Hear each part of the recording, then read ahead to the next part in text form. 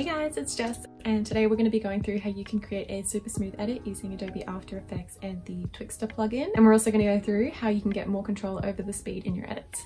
Before we jump into that though, I've got my TikTok up on the screen, which is where I post the majority of my edits, as well as my Instagram reels, and every single photo that I post to Instagram has some form of anime reference drawn in by yours truly. If you have any ideas of what I should include next, you can pop it in the comments down below, but let's just jump into it. So What's Twixtor? It is a external plugin that you can download and install into your Adobe After Effects and it essentially fills in the frames between your frames, if that makes sense. Honestly, I'm not an expert, but essentially when you are taking a normal video on your phone, it's probably shooting at like 30 frames per second depending on your settings. But when you do a slow motion video, it's usually shooting at like 60 or 120 frames per second. So that means it's taking more pictures in each second um, and that way when you slow it down it looks a lot smoother and it's capturing a lot more of the movement than you're actually getting when you're only shooting in 30 frames per second. So when you use Twixtor on your clips it's like interpreting the data and the frames itself and filling in the gaps between the frames to create that smooth slow motion look. And you can also get a lot of control over the speed because you've slowed it down and create that extra frames. When you slow it down, it looks really smooth. Now I personally am an anime editor, so when you're using Twixtor on anime, it's a little bit of a different experience than using it on say like a TV show or like real life footage because when you are taking that real life footage, there's a lot more frames to work with and there's a lot more like movement captured. However, in anime, it's hand-drawn animation frame to frame most of the time, and each frame can differ a lot, especially in a lot of action fights or when there's a big jump the movement's fast, stuff like that. So I do go through what clips work best as well as how you can spot them later in the video, so stick around for that. But without further ado, we'll just get straight into it. Now, when you're using Twixtor on any anime clips, it's important to keep in mind that only some clips will work well with the plugin. Because of the way animation is made, you know, it's drawn frame by frame, sometimes there can be big variations between each frame, and when Twixtor tries to interpret that, it doesn't interpret it right, and it can result in a lot of warping. So an example of a clip that would work well is on the screen now. However, this clip that's following it would not work well. So when you're looking at this first clip here that would work well, you can see as we're going through each frame, there isn't too much difference between each of them and the movement is pretty minimal. Whereas with this one, there's quite a lot of movement going on. You know, the hair is completely different here and there. So when we put Twixtor onto it, it will warp. And I'll show you the difference between the two once we apply the settings. So how do I apply it? First you want to do is isolate the clip that you'd like to put the Twixtor on and pre-compose it. And then go up into effects and presets and type in Twixtor, should come up down here. And you can either double click it or drag it to your clip, making sure that you've got the clip you want it on selected. Now we've got the effect controls window popped up over here. You want to uncheck this box if you have to. Sometimes you don't have to depending on what operating system you are using. And then you want to change the input frame rate to 7, image prep to contrast edge enhance and frame interpretation to motion weighted blend with smart blend turned on and that'll give you something that looks like this.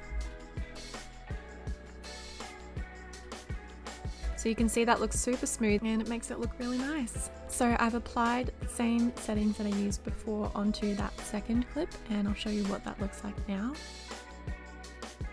So you can see there is a huge amount of warping. It just doesn't look good.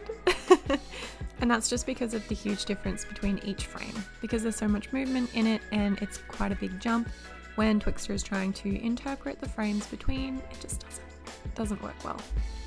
Something that you can do if you have a clip that's doing this is you can change the frame rate and put it up to maybe something like 12 or 15 and you can see there's a little bit less warping however it's still happening and honestly sometimes it's just better to choose a different clip or you can strategically choose only part of the clip. So an example of this is the last part of the clip actually works pretty well, so you could just use that in your composition instead. Alrighty, so we've been through how to apply the settings, now let's learn how to change the speed. First thing you want to do is make sure you've got your Twixtor applied to your clip and pop in those settings that I showed you before, and then we're going to keyframe the speed, which you can see over here at 100 and then go back down to our timeline, make sure our clip is selected and press the letter U on our keyboard, which will bring up your keyframes. And then I'm gonna drag this first keyframe to the speed of 100 out so it's sitting before the clip starts. Essentially what we're doing when we are keyframing the speed at 100 is just locking the clip in place to make sure we don't lose it while we're changing the speed. So I always do that before I start doing anything to the speed. So if you want to slow down your clip, what you can do is pop a keyframe at the beginning of your clip and then just type in how slow you want it to be. So if I want it to go at 20%,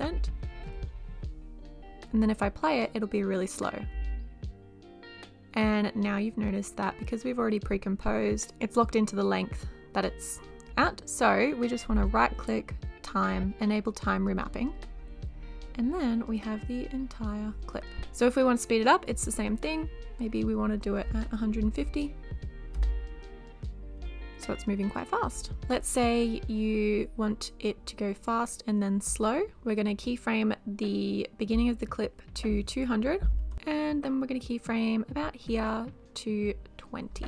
And don't worry if when you're doing your keyframes that your screen goes black, it just means because you've sped up the clip, it's a lot shorter than it was normally. Once you've got your keyframes in place, highlight them and press F9 to easy ease them. So at the moment it looks like this, which looks fine. However, go into your graph editor.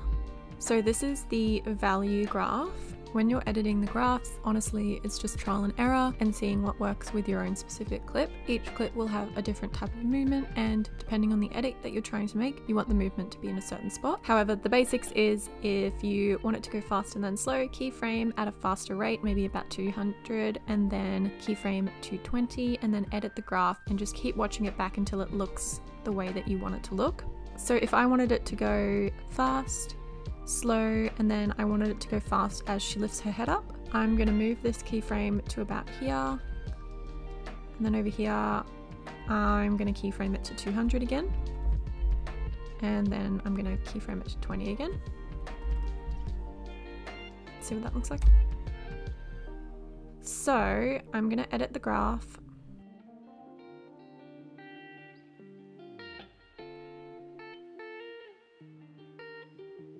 So essentially when you're editing the graph, the thing to keep in mind is that these high points represent when the clip is moving faster and the low points represent where it's moving slower and this is the path of your clip's speed. So at this point it's moving fast and then it immediately drops down to slow and then it moves fast for a second again. If you were to have more of a dip down the bottom here, that's gonna your clip is gonna be moving slower for longer. However, if we were to do something like this, it will move faster for longer as opposed to this. Honestly, as I said, it's something that get the basics down, understand how to keyframe your speed, and then work through the graph to find out what works best for your edit. So you're also just using the keyframes to change the speed when you want it to. So if you were wanting to do an edit that's on beat, so let's say you want the, you've got a long clip and you want it to be like a velocity edit, I think is what they call it. You would mark out where your beats are on the audio and then put your keyframes where those beats are and you'd have the clip moving faster on the beats and slower in between. So I thought I would show you an example of what it looks like when you sync up the speed to the audio that you're using. Play it for you now. Mm-hmm. So what I did here, I brought up the waveform by pressing LL on my keyboard and my first step was to actually mark out where the beats were and underneath each of the beats I put a keyframe and then under each beat it was keyframed at 250 and between it's keyframed at 20 and the graph looks like this. And you can see that it's not exactly the same each time and that's because I wanted a specific look and I had to play with the graph to make it fit what I was going for.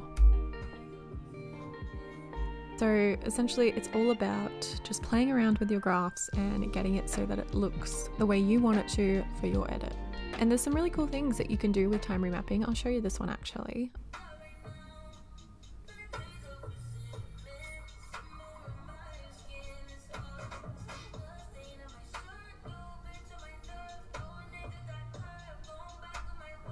If you've ever seen any one of my edits, you know that I am a big fan of Twixtor and my main preference is to have the clip go from fast to slow. and I already showed you how to do that. So yeah.